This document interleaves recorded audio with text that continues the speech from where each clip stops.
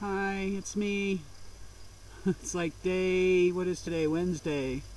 Day two here. It's amazing. It's everything I thought it would be. I'm camped in the most peaceful spot, surrounded by mountains. Yesterday I went down to the balcony house and it was a very emotional experience for me. I gave an offering there and came back. It was raining most of the day yesterday.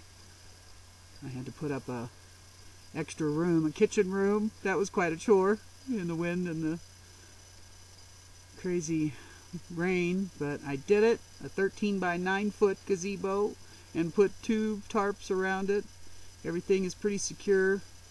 I'm hoping uh, supposed to get a little bit of wind, I think, and going to get pretty cold this weekend, but I'm going to try to tough it out. Anyway, just wanted to kind of show you the scenery here. So I'm going to do kind of a panorama what I see. It's freaking beautiful. It's just beautiful. This is my view. All kinds of wildlife. Lots of mule deer. Seen some gorgeous birds, squirrels, chipmunks. I haven't seen any bears yet, thank goodness. But this is from the other direction. The mountain across from me.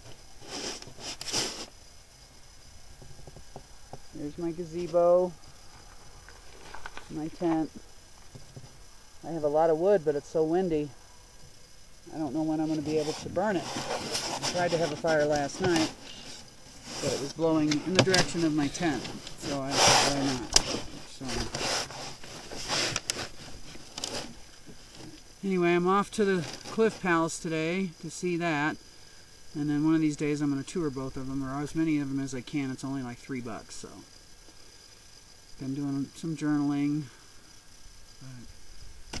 I'm going to kind of give you an idea where I'm at and what I'm doing, been doing. So, and this is kind of a video log for me as well. Had some amazing experiences. And uh, I'm off pretty soon here to the Cliff Palace. Wednesday.